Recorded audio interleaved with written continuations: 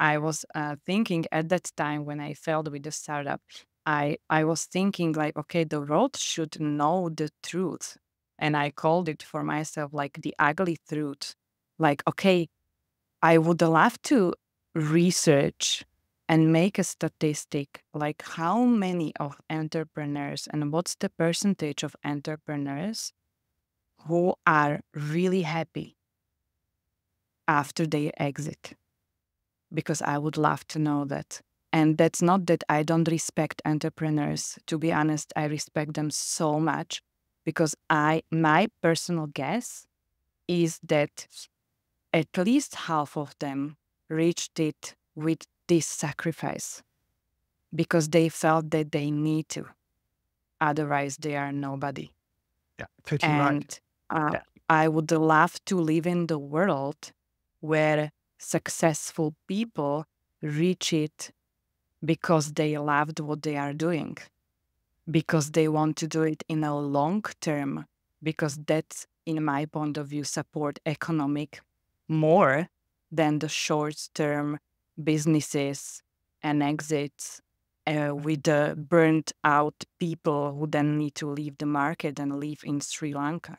But no, you're right. You're right. It's, it's, exactly it. Is do you see that? Is that the very word exit is that point where you get to the point where you don't want to do it anymore. You want to sell this for the money and get out and do something more interesting or something else instead, right? You have that event, and anecdotally, with you know, and I probably work with maybe up to twenty exited founders over the last couple of years. Lots of them have that feeling of dissatisfaction because they don't have much else to go to, right? They lose a lot of their identity on the other side of this event. And part of what they were doing beforehand is they had identity, they had purpose, they had vision, they had an idea of what their success was. They just at some point got that confused with the monetary value of the business that they had. They got the two things conflated. And the reality is, is they are very, very different things. And on mm-hmm. the other side of that is the only point you realize that is, you know, on the on the on the after the exit, you go, oh, actually, I was much happier beforehand because I had some purpose in life, right? I had something that I was working towards. I had a life's dream here. That's gone now. I've got absolutely everything that I want. I almost have, there's no reason for me to do anything anymore because I have all the money that I need. And that then becomes really hard for them to find purpose in the second part of their life at that point. Yeah, well, and that's exactly connected again with my favorite topic, which is self esteem. Like, mm. that's a big danger when you put uh, how it said like all all eggs in one bowl when it comes to self-esteem and then it can happen that you lose it. And then you feel like you are nobody right? I love uh, to be honest i love mma so there is one uh, my favorite mma well, female fighter here in slovakia.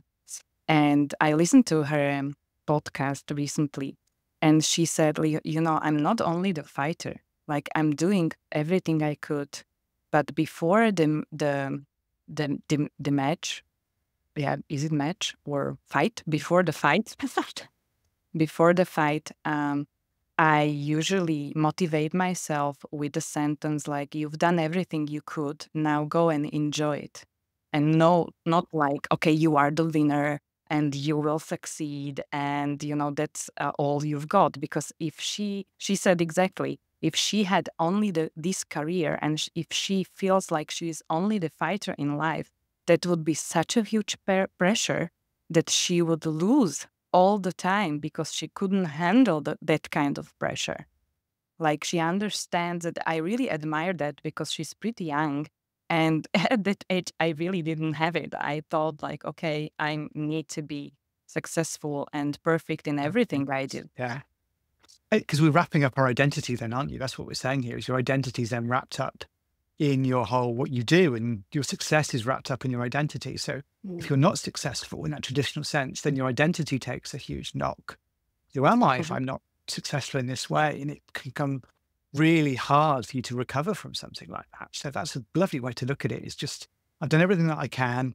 Now i just need to enjoy it. That's a great outlook on life especially when somebody's punching you in the face. I think that's a great way to think about it I'm like into it.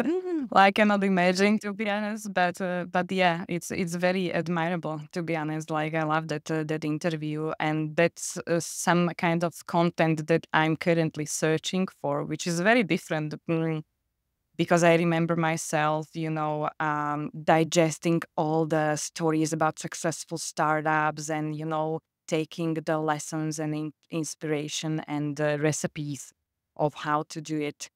Uh, and now actually I'm searching for the people who have it somehow all together without that, that kind of pressure and without kind of, um, you know, proving uh, ourselves to to to to the, to the others